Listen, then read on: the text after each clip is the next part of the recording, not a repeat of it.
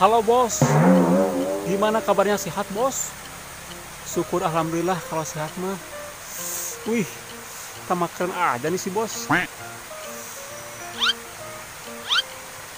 Tapi ngomong-ngomong, aku mau pinjam duit.